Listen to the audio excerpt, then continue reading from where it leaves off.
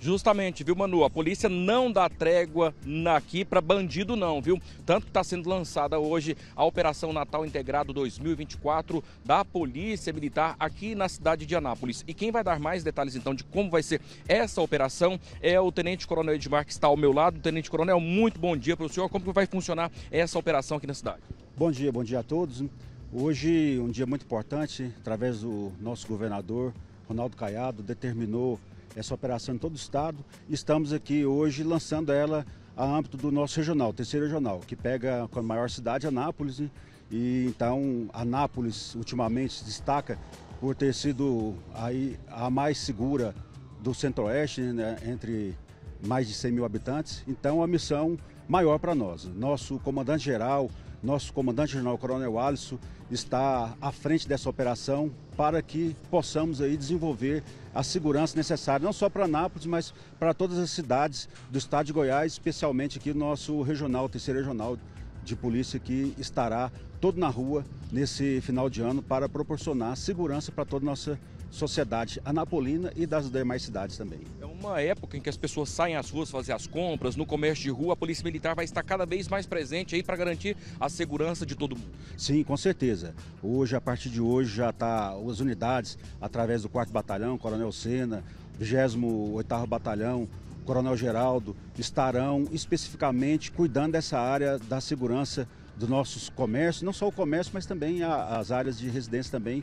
que é sabido que esse período começa logo férias escolares, as famílias viajam, então as residências ficam um pouco vulneráveis. Então a operação é nesse sentido, de proteger todo, não só o comércio, mas toda a sociedade anapolina e goianiense. Goiana. Ok, Coronel Edmar, vou falar aqui com o Coronel Sena, ou, Manuela, porque Anápolis, como o Coronel Edmar falou, é considerada a, a cidade mais segura do Centro-Oeste. Isso se deve à integração das forças do, da Polícia Militar, é, da Força Tática Municipal, Polícia Civil, Polícia Científica, ou seja, a integração das forças garante essa segurança, essa cidade segura aqui no estado de Goiás? É muito importante ressaltar que a gente segue a diretriz não só do governador, mas do comando geral e do nosso comandante coronel Alisson. A gente trabalha de forma integrada aqui em Anápolis, juntamente com a Polícia Civil, com o bombeiro, e a gente vai conseguir fortalecer mais ainda a região dos comércios. Nós já, esse ano, a gente conseguiu reduzir os crimes no comércio, o crime de roubo, né, que é um crime violento, e o crime de furto. Então agora, no final do ano, a gente irá fortalecer a segurança nas áreas comerciais aqui no Jundiaí, na área central, de forma inteligente e estratégica e nos horários devidos. Então a sociedade, a comunidade, os comerciantes, empresários, confiem na sua polícia. Nós temos a melhor polícia de Goiás e a Anápolis é considerado a melhor né, cidade de Goiás. Então confie na nossa polícia militar e confie também na segurança pública que nós trabalhamos com integração. E é importante ressaltar que em caso de desconfiança de alguém em situação suspeita, imediatamente ligar para o 190. Isso é muito importante. É o nosso, é a nossa central, né? É 24 horas. É muito importante que essa informação chegue rápido.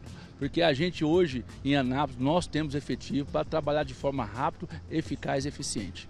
Muito obrigado pelas informações, Coronel Sena, Coronel Edmar. A gente vai só mostrar a tropa aqui, ô Manuela, tá vendo só? Tá todo mundo aqui. Reforço policial na Operação Natal Integrado 2024, começando hoje. E a segurança está redobrada não só em Anápolis, mas como o Coronel Edmar, em todo o estado de Goiás. A operação começa hoje, Manu. Obrigada, Léo, pelas informações. Agradeço aí também pelas imagens que traz aí todo esse, esse, eh, esses profissionais, todos esses profissionais que já estão envolvidos nessa operação, né, gente? É muito importante esse reforço do policiamento nessa época de fim de ano para combater a criminalidade. A gente já sabe que aqui no estado de Goiás a criminalidade, criminalidade não tem vez, a polícia está sempre atuante e aí quando precisa, como nessa época de fim de ano, o reforço chega sem dúvida alguma.